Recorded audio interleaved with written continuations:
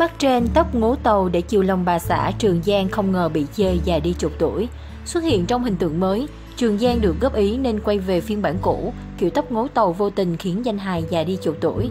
Mới đây trên trang cá nhân, đạo diễn Đức Thịnh chia sẻ hình ảnh chụp cùng danh hài Trường Giang. Họ được biết đến là bộ đôi thân thiết, có cơ hội hợp tác trong bộ phim Siêu sao siêu ngố và làm nên thành công vào mùa Tết 2018. Chính vì vậy, ông xã Thanh Thúy rất hào hứng khi gặp lại đàn em. Đức Thịnh chia sẻ dòng trạng thái ngắn gọn nhưng chất chứa nhiều tình cảm. Anh em là vậy thôi. Đức Thịnh Trường Giang có dịp hội ngộ.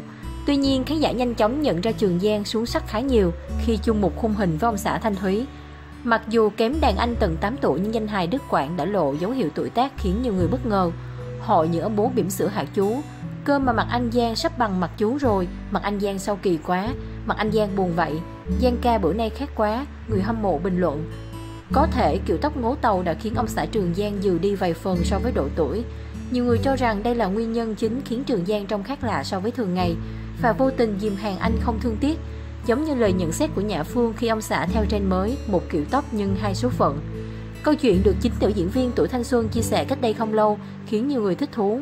Cụ thể khi thấy bà xã mê mệt anh chủ quán nhậu trong phim Từng lớp Itaewon do Park Soo Yoon thủ vai, Trường Giang lập tức cắt phân mái tóc để theo đuổi hình tượng ngố tàu như tài tử Hàn Quốc.